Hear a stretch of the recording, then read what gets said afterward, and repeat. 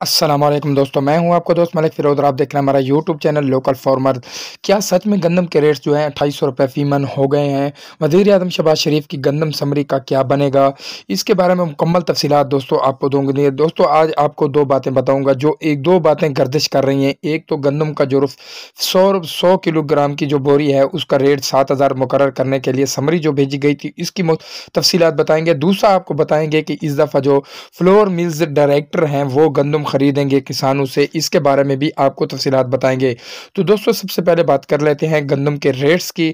तो दोस्तों, ये अभी तक कोई कन्फर्म नहीं हुआ कि जो समरी भेजी गई थी वज़ी अजम शबाज शरीफ को, इसके बारे में मुकम्मल तफसीत और कोई अंदर की खबर नहीं मिली।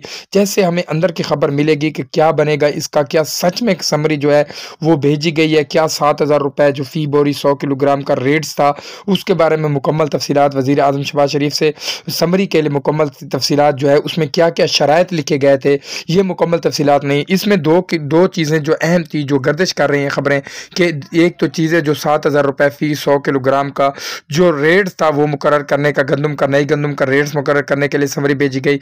दूसरा भेजी गई जो गंदम है, वो फ्लोर मिल्स के डायरेक्टर जितने भी हैं, वो इस दफ़ा गंदम स्टॉक करेंगे, कोई हुकूमत गंदम किसानों से नहीं ख़रीदेगी। तो इसके बारे में भी मुकम्मल तफसीत कोई नहीं की गई। जितनी भी खबरें गर्दिश कर रही हैं कि फ्लोर मीज डायरेक्टर जो हैं, वो इतनी दोस्तों, एक बात तो आपको कंफर्म बता देते हैं और बताते चलें कि इतनी ज़्यादा गंदम जो पाकिस्तान में है, वो कभी भी फ्लोर मिल्स वाले इतनी गंदम नहीं ले सकते। जब तक हुकूमत उनको या तो कोई ख़जाने से रकम ना दे, या हुकूमती इमदाद उनको ना दी जाए या कोई सब्सिडी दी जाए, तब वो जाकर तमाम गंदम ख़रीदेंगे। वो अकेले ये गंदम पाकिस्तान में मुकम्मल तौर पर अपनी फ्लोर मिल्स डायरेक्टर नहीं ख़रीद सकते। इसमें हुकूमत को लाजमी भी थोड़ी सी गंदम जो है स्टॉक करनी होगी। कोई भी भी ऐसी इतनी गंदम खरीद नहीं सकता। दूसरी बात, रेट्स की अगर बताते चलें कि दोस्तों, हुकूमत कोई पागल तो नहीं है। जो जितने भी दोस्त मेरे कह रहे हैं कि हुकूमत रेट्स इतना कर सकती है, करेगी, नहीं करेगी, क्योंकि उनको पता है कि जो फर्टिलाइज़र, जो खादें थी, वो किसानों को यूरिया खादें पाँच हज़ार रुपये से प्लस मिली हैं और डी ए पी का रेट जो था, वो तेरह हज़ार, चौदह हज़ार रुपये था।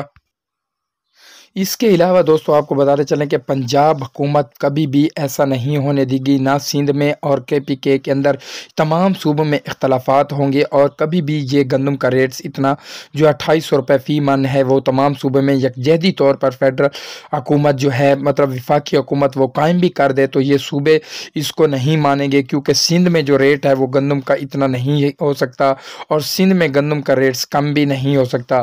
तो ये थी छोटी सी मालूम इन ताला आपको पसंद कोई मिलेंगे। अगले के साथ अल्लाह हाफिज़